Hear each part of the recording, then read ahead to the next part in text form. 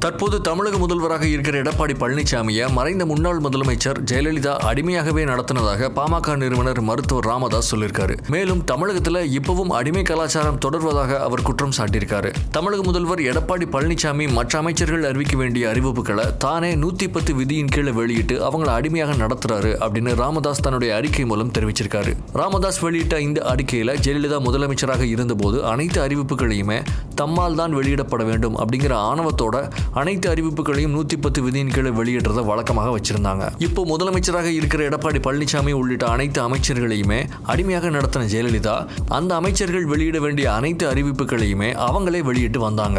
கடந்த அஞ்சாண்டு ஆட்சியில் மட்டும் நூத்தி பத்து விதியின் கீழே நூத்தி எண்பத்தி ஒரு அறிவிப்புகளை அவங்க வெளியிட்டாங்க அப்படின்னு சொன்ன ராமதாஸ் இதை இப்ப எடப்பாடி பழனிசாமியும் பின்பற்றி அமைச்சர்களை இப்ப அடிமைகளாக நடத்துறாரு அப்படின்னு ஒரு குற்றச்சாட்டை முன் வச்சிருக்காரு.